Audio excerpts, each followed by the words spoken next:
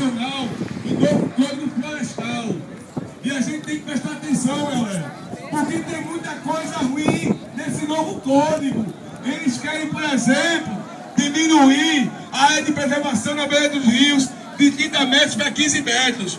Para que os latifundiários possam ter mais terras para produzir soja, para produzir o que seja, agredindo o meio ambiente, agredindo a natureza. E a Maconha é contra a agressão ao meio ambiente.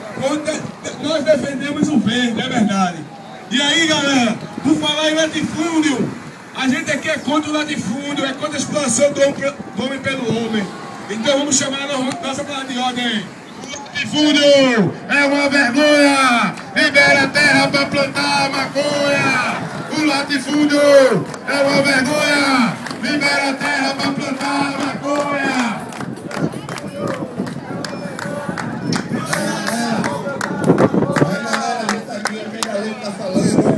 também na Marcha da Maconha, aproveitando esse momento da ponte para trazer informações científicas sobre a ponte que a maconha faz de nós seres humanos.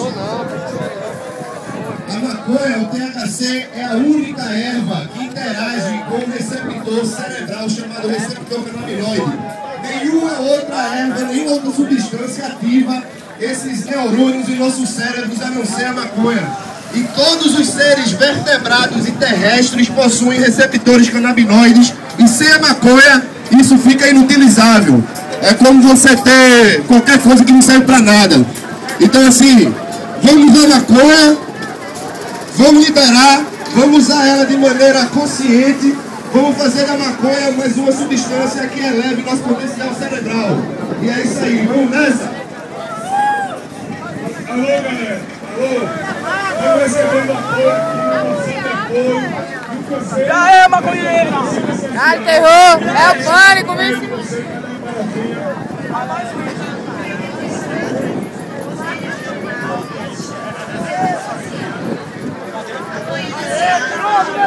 Cadê?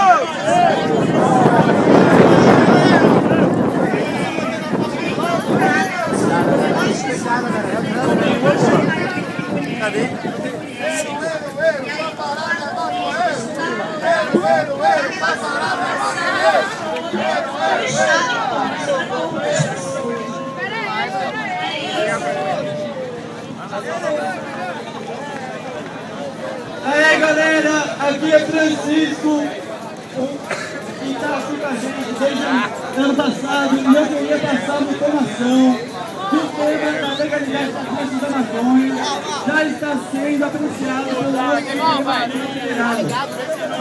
No caso, o ministro Sérgio de Mello já decidiu seu voto dizendo sim!